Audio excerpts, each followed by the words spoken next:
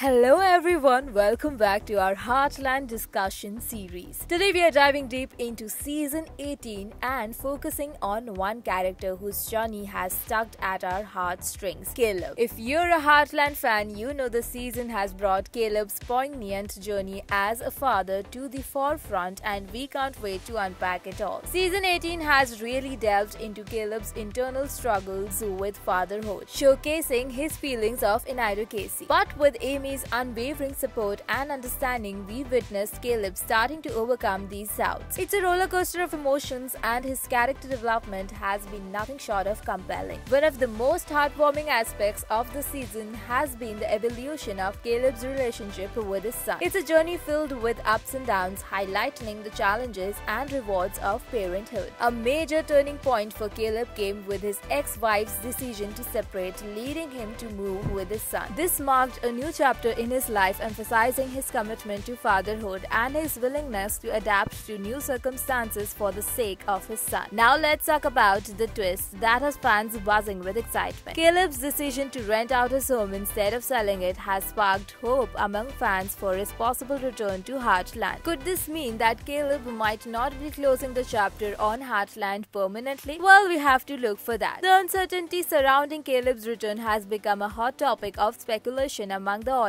Some believe his story arc might have reached its conclusion, while others hold on to the hope of seeing him back in future seasons. What are your thoughts on this topic? Drop them in the comments below. Caleb's journey on the show has been filled with emotional highs and lows, making him a beloved character. Whether or not he returns, his impact on Heartland and its audience is undeniable. His experience as a father coupled with the support from Amy have made his storyline one of the most engaging and relatable in the series. In conclusion, Caleb's journey in season 18 will be a roller coaster of emotions highlighting his evolution as a character. Whether he returns to Heartland remains uncertain, but his story, whether continuing or concluding, will remain an integral part of the Heartland narrative. What are your thoughts on Caleb's journey? Let us know in the comments below. And hey, if you enjoyed this discussion, don't forget to subscribe, turn on notifications, and give this video a thumbs up.